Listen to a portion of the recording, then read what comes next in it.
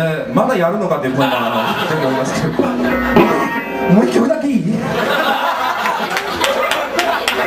私もこれだけやりたいなんか簡単な曲だとすごくまとまるんですよこのバンド不思議なんですよね難しいバンドになると必ずどこかで誰かの音が途切れるというですねあの特徴があるんですけれどもはいじゃあ最後にだけ最後に1曲だけですね、